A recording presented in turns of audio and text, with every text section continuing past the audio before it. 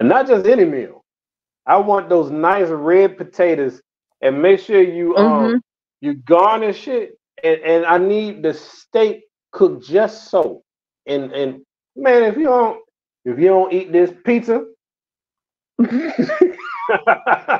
Uh, uh, I'll make I'll make you go. I'll make one step further.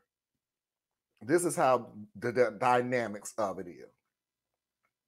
If I went downstairs and did that, exactly what Thea said, four course meal, salad, bread, sticks, the steak, the dessert, candlelight dinner, and everything like that.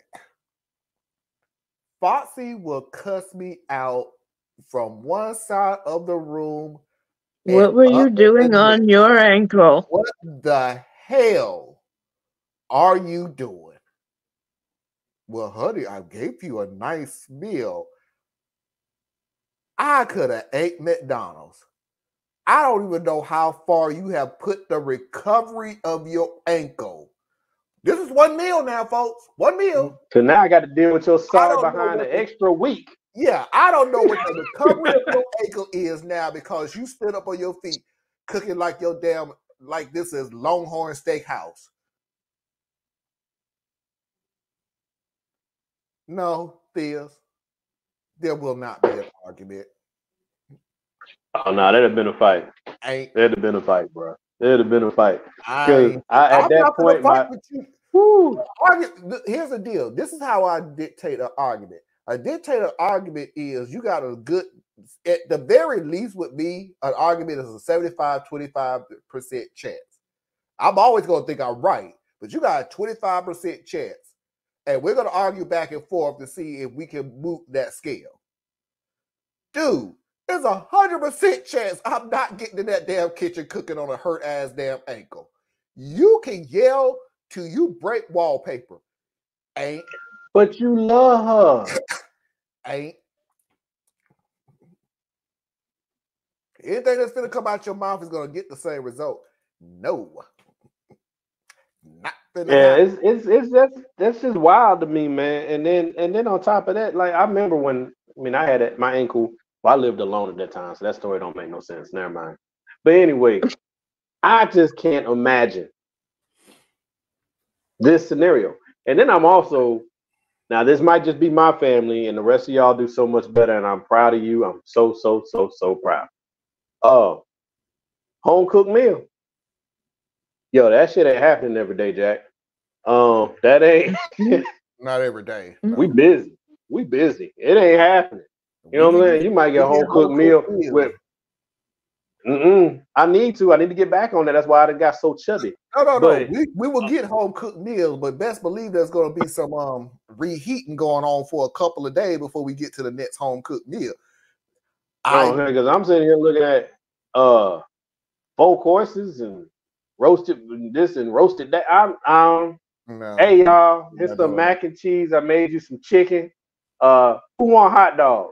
Who want hot dog? I'm gonna go ahead and get you okay. You know what I'm saying? Like Mm-hmm. I gotta step my game up apparently because groceries cost too much. I'm sorry, that's just it's just a little hurtful. you want to? We do get home cooked meals. About to On turn the- my family the into some weekend. vegetarian. No, on the weekend. When we know we ain't that busy. And look, you got a good chance that that ain't even gonna happen too because we don't know what the definition of busy is on that weekend. And we have like a whole bunch of stuff to do on the weekend.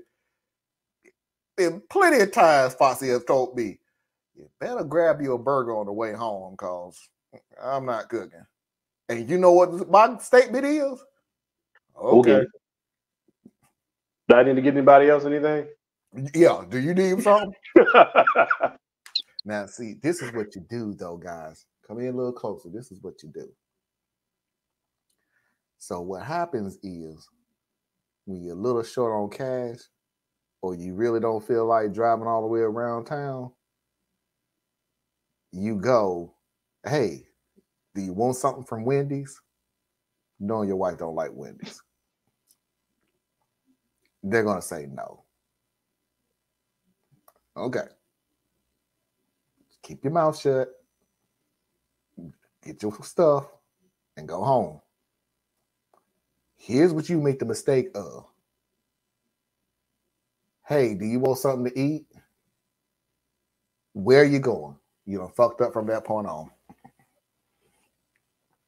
Man, you, sir, have just laid out a plan that is okay.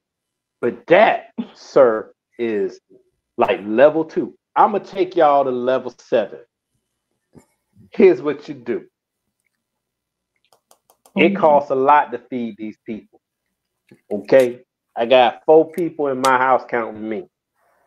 That means anywhere you go to pick up food, at minimum, is going to be 45 to 50 dollars.